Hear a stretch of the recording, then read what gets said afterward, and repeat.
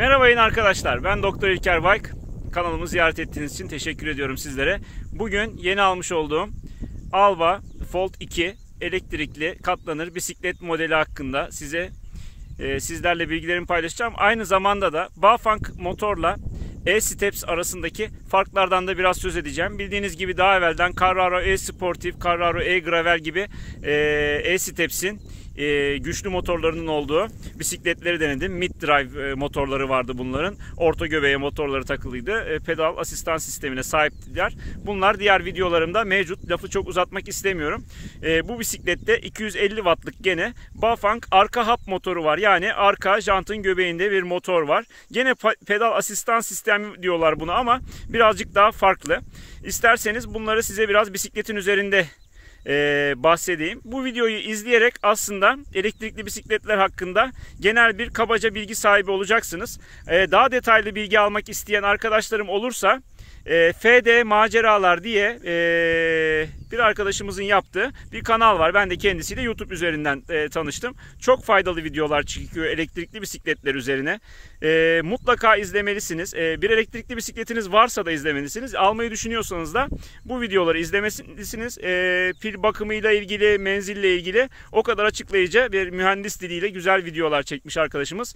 FD Maceralar, Fatsa, Dicle Maceralar diye bir kanal. Onu da takip ederseniz e, ben de kendi adıma sevinirim arkadaşlar.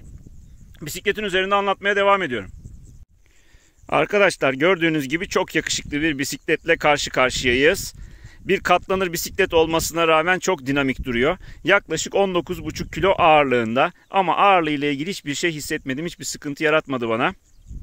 E, jantlarından başlayacak olursak işte çift kat alüminyum jantları var gördüğünüz gibi. Arkada bir hap motorumuz var. Bu Bafang'ın arka hap motoru. Ben bunu daha evvelden biliyorsunuz yük ya da e, Fatbike'da denemiştim. Biraz ağır gelmişti lastikleri kalın olduğu için. Bunun lastikleri Kenda'nın 1.75'lik lastikleri. Foldix'te de 2.125'lik modeli var. Birazcık daha kalın onun lastikleri. O birazcık daha ağır bir bisiklet. 22 kilo civarında bir bisiklet. Seresi çok rahat arkadaşlar. Kot pantolonla kullanıyorum. Yaklaşık 17-18 kilometre kullandığım hiçbir sıkıntı yaratmadı bana. Çok rahat bir seresi var gördüğünüz gibi. Arkada bir port bagajı var. Gene bataryasından kullanılan bir arka stop lambası var. Arka çamurluğumuz çok güzel. Ayrıca Altus'un 8'li vites sistemini kullanıyor. Gördüğünüz gibi rublesi var. Rublesinin markası bir farklı bir marka ama Altus'un arka değiştiricisi mevcut. 13-34'lük bir arka rublemiz var. Ee, önde de Pro Wheel'ın bir e, ortada krankı var. Bunun dişli dişlisi de 52. Yani yarış bisikletlerinin en büyük çarkı kadar büyük. Bunlarla yokuş tırmanmak aslında zor oluyor arkadaşlar. Tırmananlar var tabii ki. Hatta katlanır bisikletiyle uçmak dereye çıkanlar bile var. Böyle arkadaşları da gördük istisnai durumlarda. Ancak bunlarla yokuş tırmanmak genel olarak zordur. Şehir içi için düz yollar için katlanır bisikletler uygundur. Onun için bunları sık sık elektrikli yapıyorlar. İki tane iyi özellik birleşsin diye hem şehir içi hem az yer kaplama hem de yokuşlarda zorlanmama bunlarla sağlanıyor. Güzel bir monitörü var arkadaşlar. Alba bu bisiklete çok özenmiş. O kadar güzel bir kargolama yöntemiyle göndermişler ki bugüne kadar birçok bisiklet satın aldım internet üzerinden. Hiç bu kadar güzel kargolanmış gelmiş bir bisiklet görmedim. Kalite kontrol listesi yapılmış. Hepsine tik konulmuş. Şuraları şuraları kontrol edilmiştir. Motoru, pili, ondan sonra lastiklerin basıncına kadar her yeri frenlerine kadar her yeri kontrol etmişler. Zoom fren var arkadaşlar. Ee, pardon Zoom'un fren kolları var bisikletimizde aslında Tektron'un e, V frenleri var ve gayet de başarılı. Hani ben burada mekanik disk veya hidrolik disk hiç aramadım. Zaten 25'i geçmiyoruz fazla. Benim için çok lazım değil. Ayrıca onun ekstra ağırlığından, bakımından da uğraşmak istemiyordum. Çünkü biliyorsunuz bir lastik patlıyor, bir şey oluyor. Söküyorsunuz bu sefer disk sürtmeye başlıyor. Ön tarafın Mandallı olması iyi. Burayı sökmeniz için ekstra bir aparat gerekmeyecek.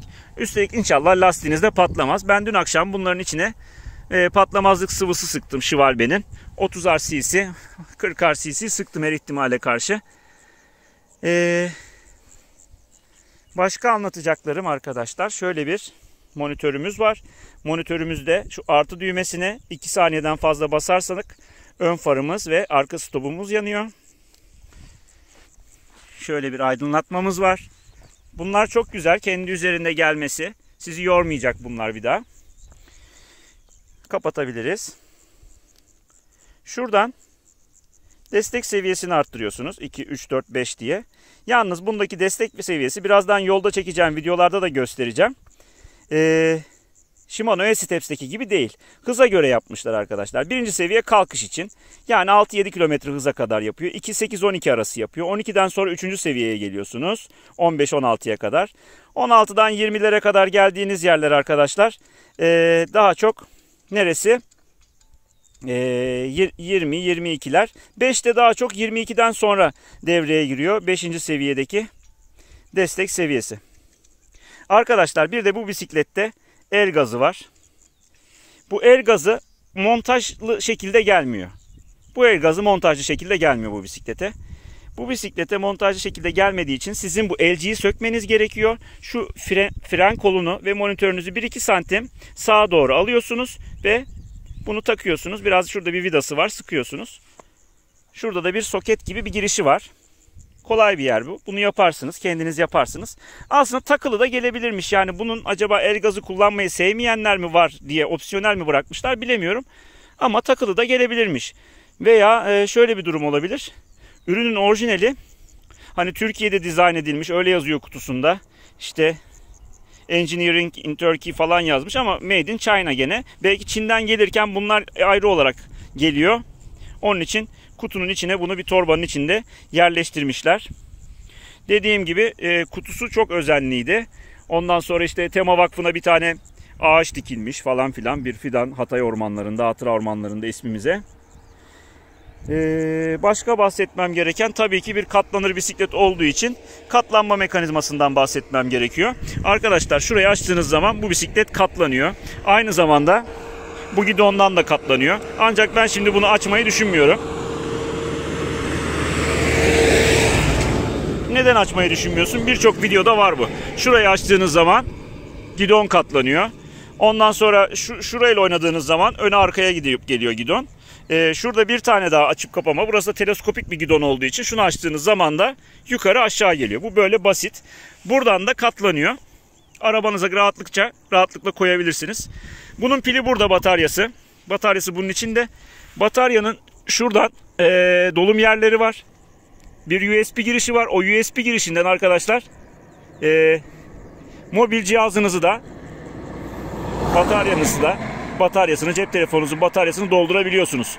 Hem de bisikleti sürerken. Öyle bir güzelliği var. E, buradan şarj olabiliyor. Şu alttaki delik, şuradaki soketten şarj olabiliyor. Bir de burada gördüğünüz gibi 0-1 tuşu var. Bunun 1'e yani 10 konumuna getirilmesi gerekiyor. Ayrıca bu batarya bu kadronun içinden çıkartılarak yani eğer bisikleti evinize çıkartmak istemiyorsanız sadece bataryanızı alıp veya iş yerinizde yanınıza da doldurabiliyorsunuz. Bataryanın bir anahtarı var. Bu anahtarla kolaylıkla çıkıyor. İki anahtar, iki yedek anahtarıyla beraber geliyor zaten bisiklet. Görmüş olduğunuz gibi çamurlukları üzerinde. Ee, motor desteğini çok beğendim. Özellikle 4. ve 5. seviyede yani 20 kilometre hızlı e, seviyelerden sonra çok güzel destek veriyor. Bunun 36 wattlık iki tane bataryası var. Ben e, amperi daha yüksek olan yani daha çok watt üretecek e, batarya tercih ettim. Çünkü menzile %30 etki eder diyor. Birazcık da menzili fazla olsun diye 10.5 amperliği tercih ettim. Onun da bir herhalde 250-300 lira gibi bir ekstra maliyeti oldu. Ayrıca tabi bu e, LCD ekranın da bir maliyeti oldu. Bu göstergesinde bir ekstra maliyeti oldu.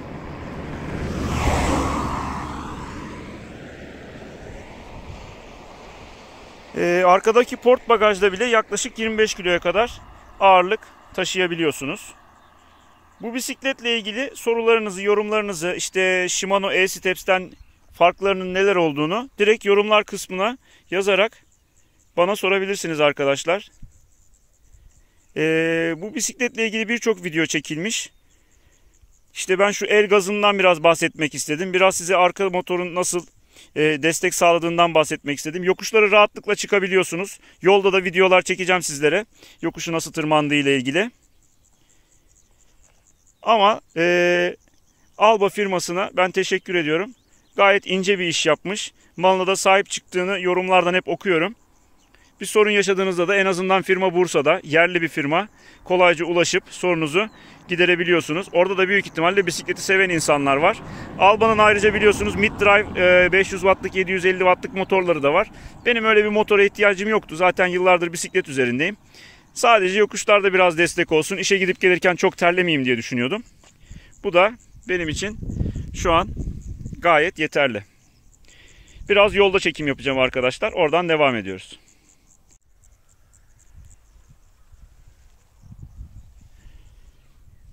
Bu zili mutlaka göstermeliyim size. Çok güzel yapmışlar. Ön fren kolunda çok güzel bir zili var. Aynı zamanda da Vergo'nun katlanır pedalları mevcut.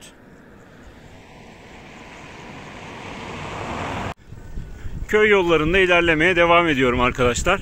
Şimdi burada ekranımı göstermek istiyorum. Görebiliyorsunuz herhalde. Dördüncü seviyede destek alıyorum. Hızım da 18-19 kilometre gibi.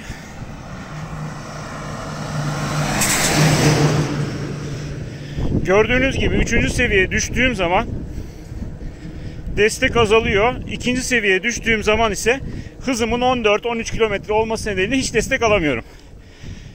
2'de 3 3 yapalım. Şimdi 4 yapalım.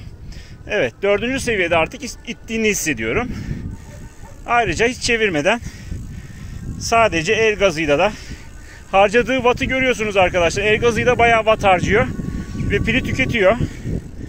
Ama çevirirseniz şöyle bir 20'li hızlara geldiğiniz zaman dördüncü seviyede destek alıyorsunuz. Bu E-Steps'ten bayağı farklı.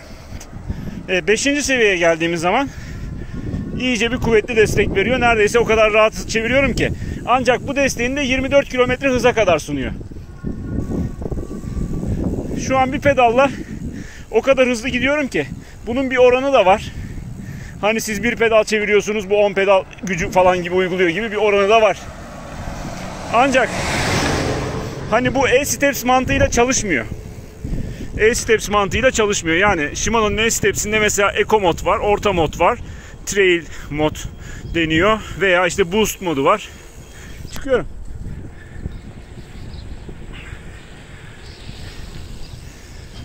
Onlar hep pedal çevirirken destek veriyorlar belli bir oranda. Bu hızınıza göre destek veriyor. Yani siz birinci seviyede 22 ile gidiyorsanız motor sizi hiç desteklemiyor. Onun için sizin bunun destek seviyesini 4 veya 5'e getirmeniz gerekiyor. Bugün parçalı bulutlu birazdan yağmur yağabilir hatta ufak ufak sanki atıyor.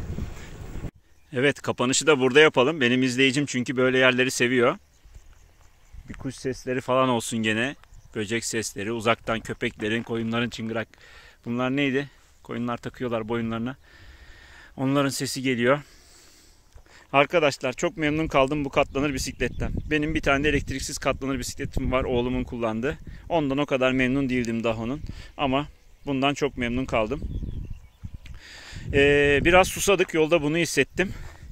Maalesef suluk koyacak ee, bir yeri yok. Ben bunun gidona aparatlar var. Gidona suluk kafesi yerleştirebiliyorsunuz. Şuraya bir küçük suluk kafesi ve bir su matarası yerleştirirseniz iyi olur. Uzun yolculuklar öncesi. Yaklaşık 20 kilometre gittim. Tırmanışlarım da oldu. Ve tek diş düştü. Eğer bacağınız kuvvetliyse ve gittikçe de kuvvetli olacağını inanıyorsanız bununla bence 80 kilometre bile gidebilirsiniz. Biraz da yükseltilmiş bir bataryanız varsa mutlaka gücünüzün yettiği bir bisiklet almanızı öneriyorum. Hayaliniz asla bir araba olmasın.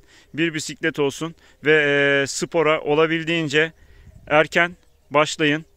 E, mümkünse işe bisikletlerinizle gitmeye başlayın. Birilerinin bir yerden başlaması lazım. Bu arabaların bu trafiklerin e, trafiğin yavaş yavaş bitmesi lazım. Bu arabalardan yoksa bir türlü kurtulamayacağız. E, İstanbul'da ne kadar mümkün olur tabii ama elinizden geleni yapın. Gücünüz yettiğince kendinize bir bisiklet alın. Bu birazcık maliyetli bir bisiklet ancak bunun yarı fiyatına da bisikletler var. Üçte bir maliyetli de bisikletler var. Onlar da iş görür, iş görmez değil. Bunun sadece birazcık daha belki konforu fazladır, menzili yüksektir. Onun birazcık da menzili kısadır. Bakımlarını yaptıktan sonra bisikletler çok karmaşık aletler değil, çok büyük sorunlar çıkartmayacaktır. Yeter ki arkasında firması dursun. Bir eksiği bir şey olduğu zaman ufak tefek onlar giderilsin. Ben Alva'dan şu ana kadar çok memnunum. Ee, yaklaşık 20 saat içerisinde bisikleti Bursa'dan Tekirdağ'a kargoladılar. Elime geçti. Ve hemen kurdum ve kullanıyorum. Hiçbir sorunu yok.